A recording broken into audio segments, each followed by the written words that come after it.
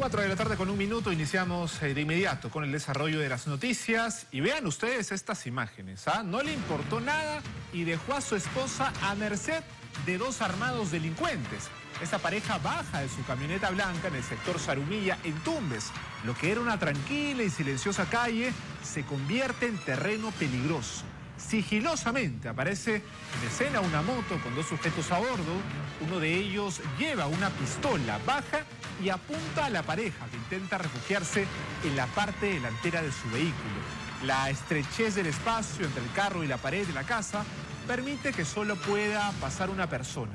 Es el esposo quien da el primer paso y corre sin mirar atrás.